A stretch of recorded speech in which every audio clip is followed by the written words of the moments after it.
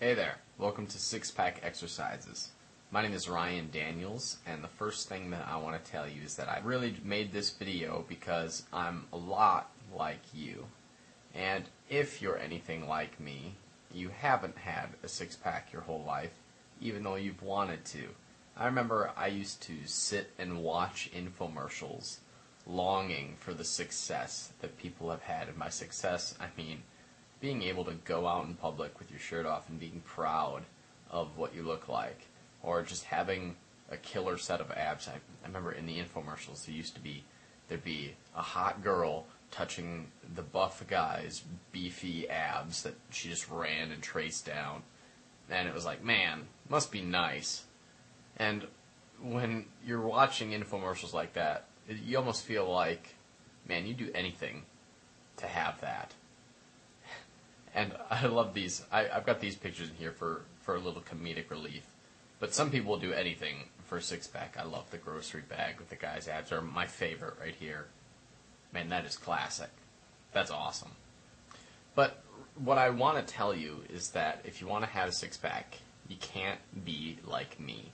And what I mean is that when I started to finally work out and finally apply things that I knew to be true, one mistake that I made was I focused too much on crunches. Crunches are a great exercise. You should do crunches. And I had my handy dandy ab roller, and I saw results. I saw success. But this posed a problem to where crunches and ab rollers will only really build your upper abs. And so you end up looking kind of like this. And this is a picture. I actually found this on a news site talking about this woman going in to have surgery to have fat removed from her stomach.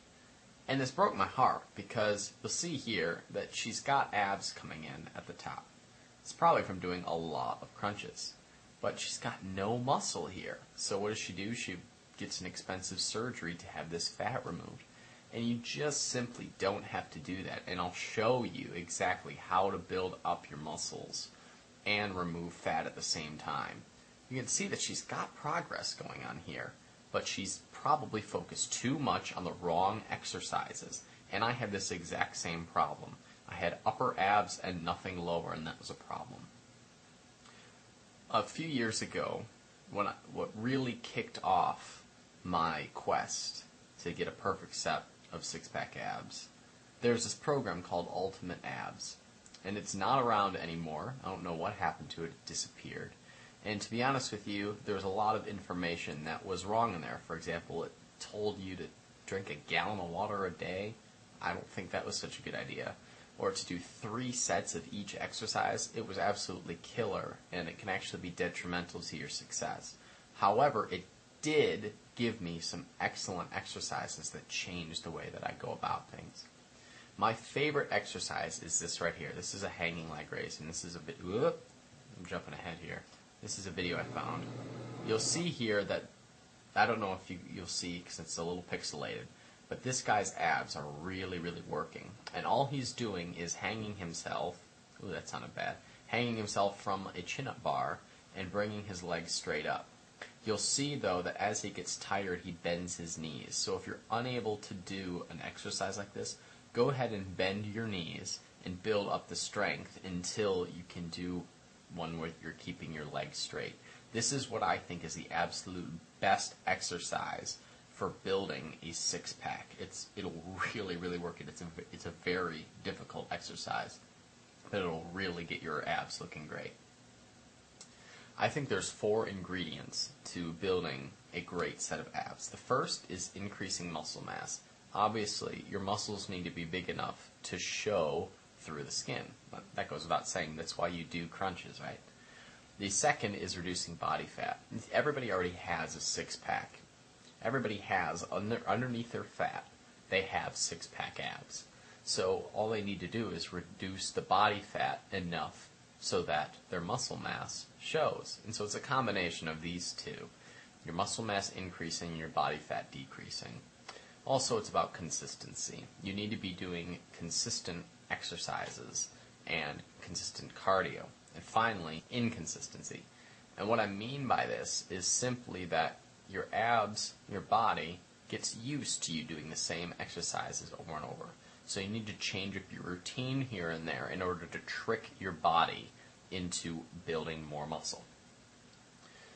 You also need to focus on fat burning and some simple ways to do this, and I'm breaking this way down because I I can do a whole video on this, and I do inside six pack exercises.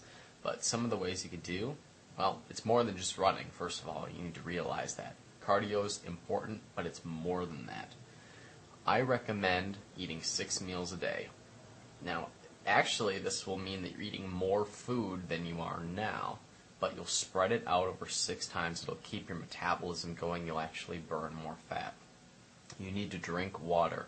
Not necessarily a gallon, as that one program told me to do, but I usually end up drinking about a half gallon of water a day. It's good for fat burning and keeping your metabolism high, especially in the morning. And finally, eat grapefruit. That's a great tip for you. Grapefruit is an excellent fat burner, and I recommend that you consume it on a regular basis. Inside of Six Pack Exercises, I have videos that are just like this one that cover a variety of different topics. I have videos just about fat burning and showing specific exercises that you can do in order to build up your muscle mass. I'll see you inside.